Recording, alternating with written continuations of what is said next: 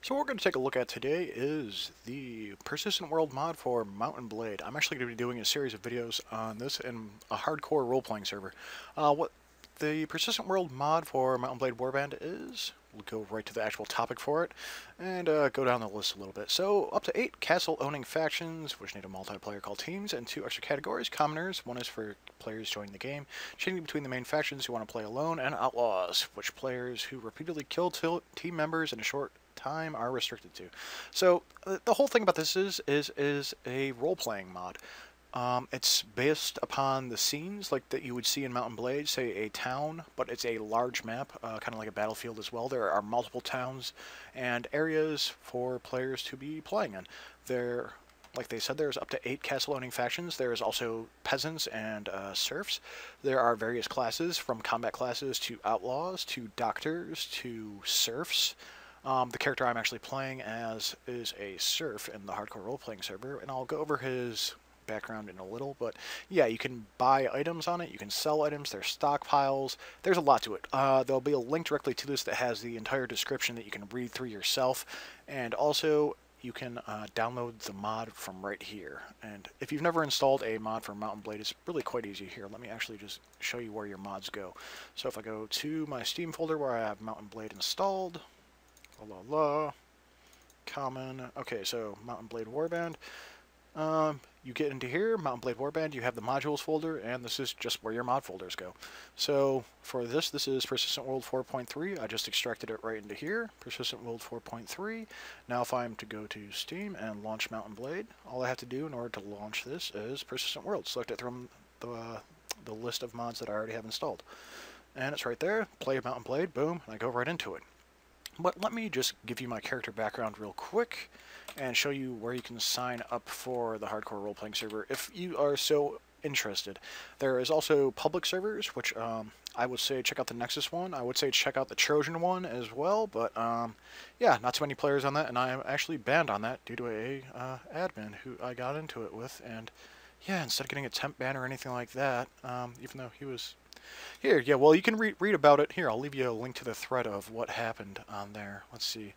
Uh, uh da, da, da, severe admin abuse. Yeah, this happened to multiple of us uh, with some of the guys that I'm playing with. So, yeah, you can see me right here. Um, complaining on here, blah, blah, blah. And those are some of the admins from other servers and stuff like that. Yeah, lots of fun stuff. But, um, let me, before I get off key, we'll go to Nexus. Nexus is where I play uh, the hardcore role playing. So website I will have linked below, but all you have to do in order to apply for this is I have uh, sections that are actually unlocked on here because I have been accepted and everything like that. But if you go down here, let's see, admin apps, blah, blah, blah. No, I'm not looking for that. I'm looking for hardcore role playing. Hardcore RP server, here we go. So, Hardcore RP server, I'm in the members. You won't see the members section until you're actually accepted and your application goes through. So basically the process for getting on the Hardcore role-playing server is you apply for getting on it first, like what would make you a good fit for it, if you understand what role-playing is. Role-playing, um, if you've never done anything of, of it before, this is kind of um, like playing, say, Dungeons & Dragons or... Um, Pathfinder, stuff like the pen and paper games where you actually come up with a background for a character and you play into the role of the character without any metagaming. Metagaming is if you take something from out of context for the character or, or out of character. So you don't do any of the out of character stuff. Well, you can do it in game, but there is ways, which I'll show you in the video afterwards, kind of the way it goes. But Alright, so we'll go to approved biography. This is the whole background that I came for my character. So everybody had to come up with a biography for the character they're playing in the game and apply for a role in the first place. So I applied for a fisherman, got it, and I'm a fisherman for the commoner faction. So here's my character, Drenlod Arokason. So this is all a character that I wrote up completely myself.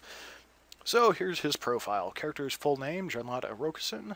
Character's age 26. Character gender male. He is character's nationality. Remember, only Cal Calradia lore.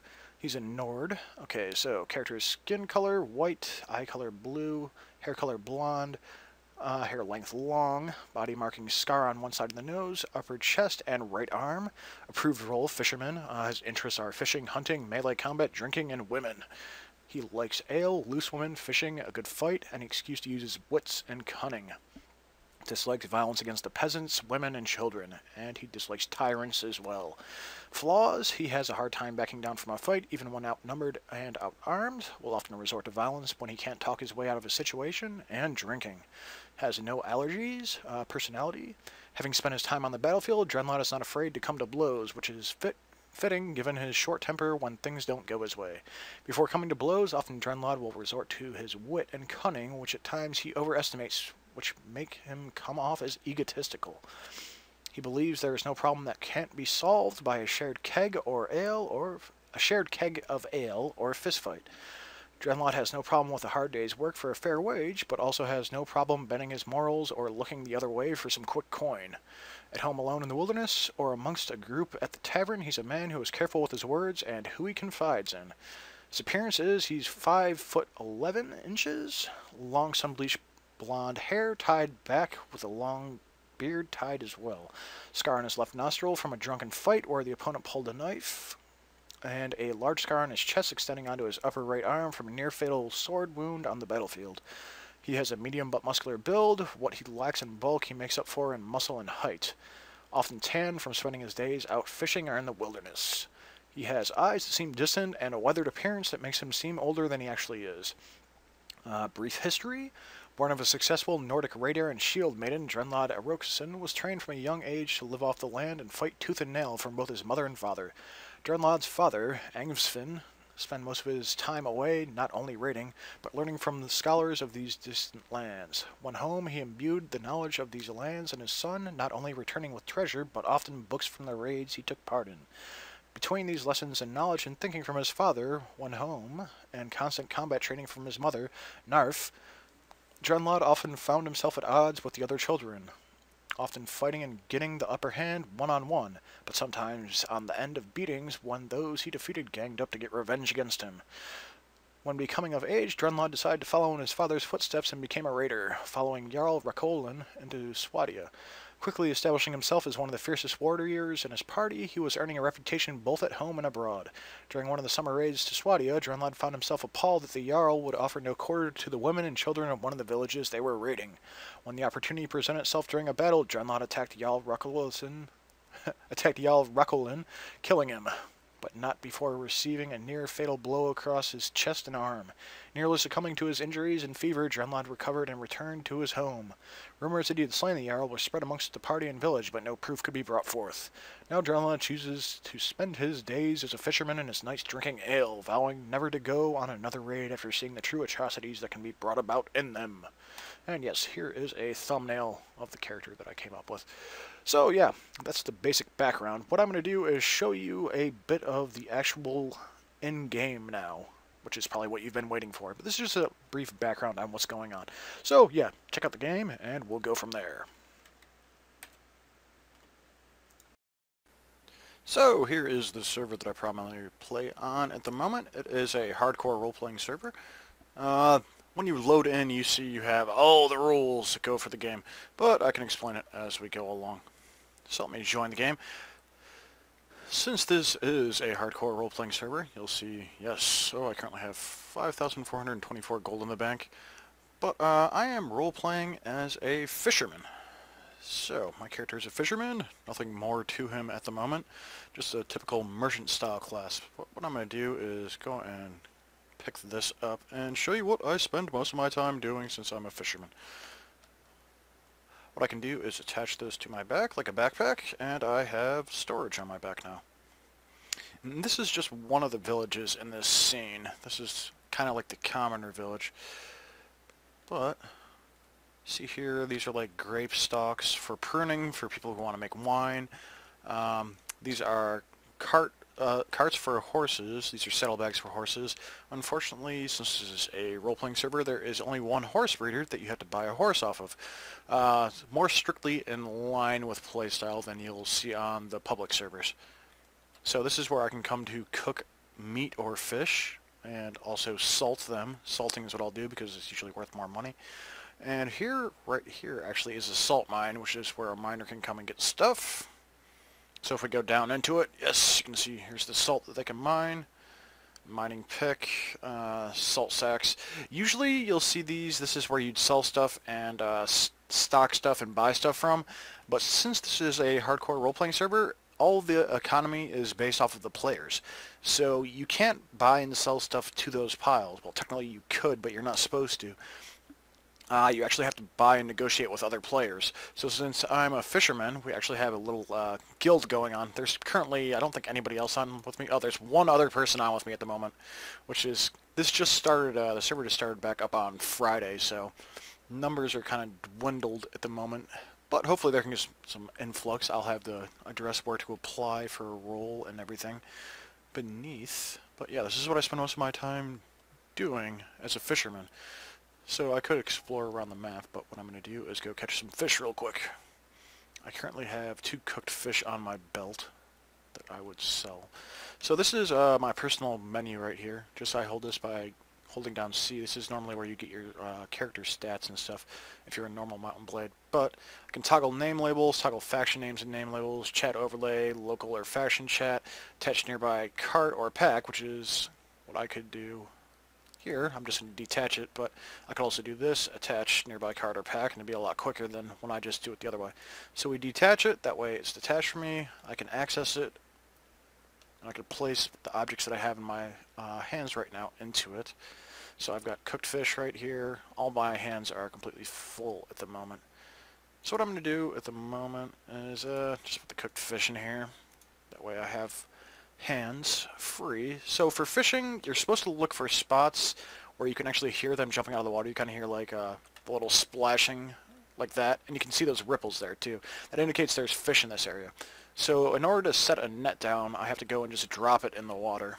So I go underwater, drop my net, and that'll over time catch fish.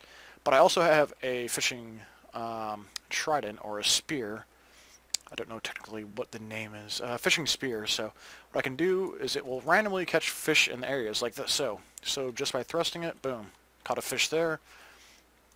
I can keep catching more and more.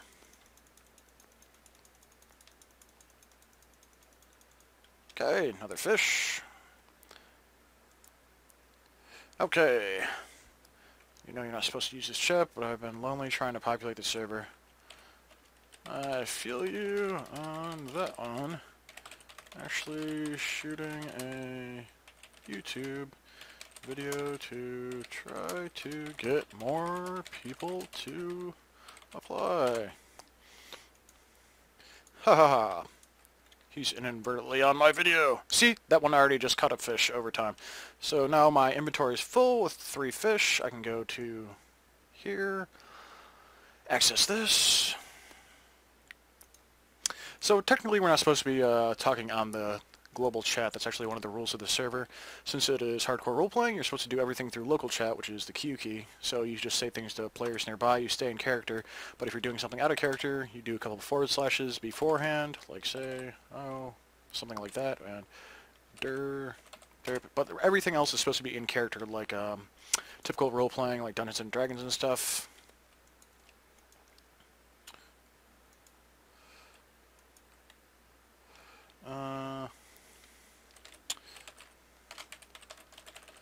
Still getting some of the people I play to apply. So yeah, that just caught some more over time. So this is what I do. I'll basically fill this up with fish, la la la. Here's what I'm going to do. I'm going to let that keep catching fish while I go and dump these two fish off. Um, over here where we've been uh, kind of stashing stuff because I need to get some salt in order to preserve these fish. And I'll show you what that actually takes.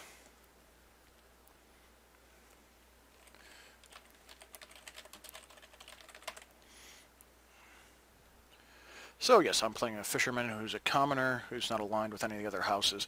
There's actual factions in this, like typical Mount and Blades like Swadian, um, Nord. Even though my character's a Nord, he's aligned with the commoners at the moment.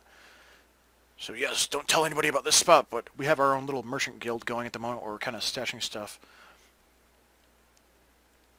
So where do I work and live? See, so I've got a couple salted fish in here, but this is where I've been leaving stuff behind.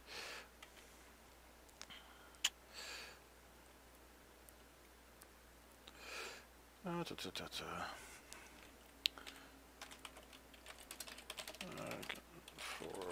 okay.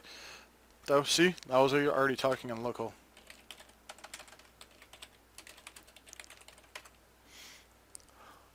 Alright, so here's what I'm going to do. I'm going to catch the rest of these fish, then I'm going to go get a bag of salt. Actually, I need to grab a bag of salt out of there first. So I need to figure out, uh, someone left me some.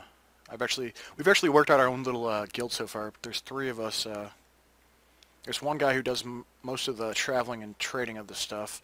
Um, we actually have a miner, so if he needs food, I give him food. If I need salt or anything from him, he gives it to me. And uh, Otherwise, the other guy just sells stuff and we split 50-50 profits. Okay, salted cooked fish.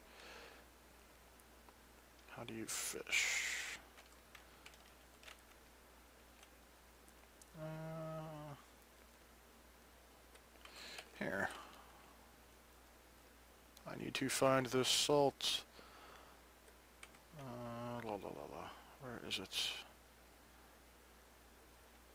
Cooked fish. You know what? I'll just make a thing for Blah, blah, blah.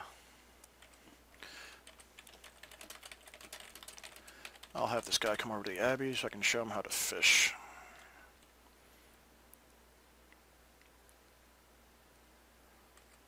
You know what? I'll just cook the fish. I've already got plenty of salted fish.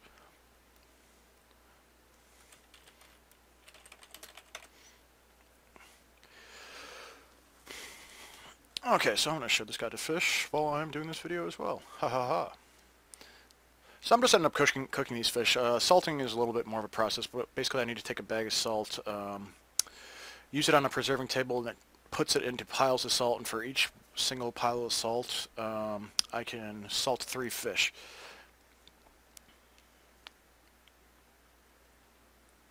So currently, let me grab these.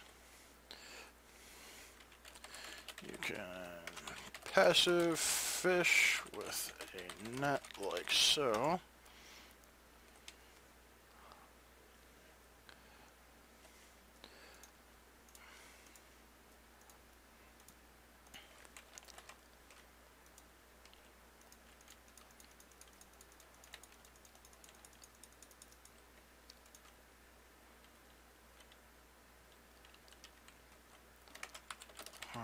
Active with a spear.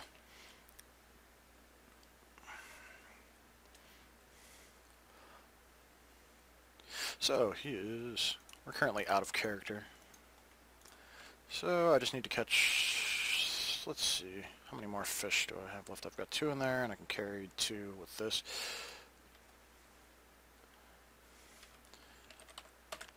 Yep, ask me if I get a lot of fish, of course I do. So normally what I'd be doing here is role-playing my character, um, which I read to you at the beginning of this, all of my backstory and everything that I've written for it.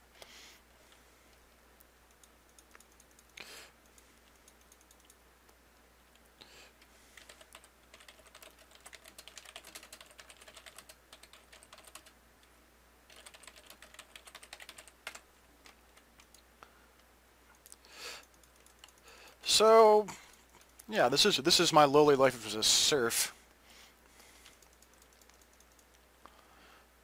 Alright, let me pick back up my net. So now I've got my fishing net back. If I access this, I'm going to go cook all these. Let me just catch one more fish.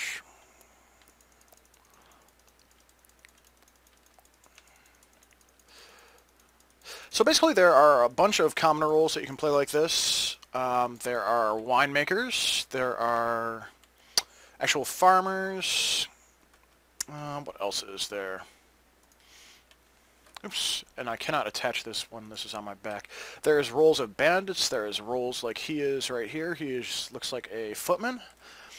There is all sorts of different things you can do as a commoner or as say nobility. But with the hardcore role-playing is you stay in character. Unlike all this out-of-character talking I've been doing, there's sailors, pirates. Um, there's a whole bunch of different roles that you can apply for. And then you, once you actually get accepted for applying for a role,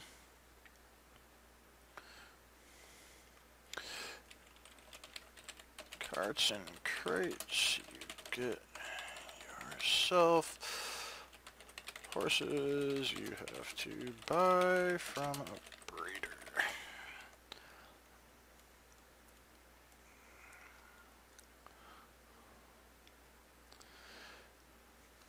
So what I'm going to do here is I'm going to cook all these fish. I'll show you how fish is cooked. So basically everything is done with an F menu. So I can just cook it right here in this little stove.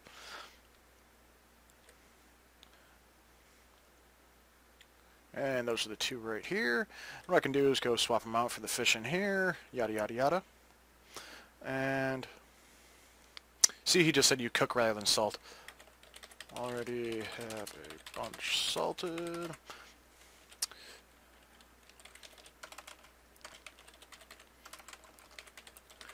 Have stock of cooked and salted for variety and So yeah, so basically this is what I can do as a fisherman. He's a combat role, so he could end up in wars, stuff like that. And since I'm a commoner, um, nobody's really going at war with me or anything like that. Factions can get into wars with each other. See here, there's outlaw rules, commoners, and these are the various kingdoms and places. So Kingdom of Nords, uh, Sarranid Sultanate, uh, Abbey, Orange faction, which isn't named yet, Nord Outpost and Mining Company. So you have places where you can make wine here, saddlebags. This is basically the gist of it, but um, I will be doing some recordings of the actual role-playing and stuff when the server is more populated. Where do I store them? That's for me to know.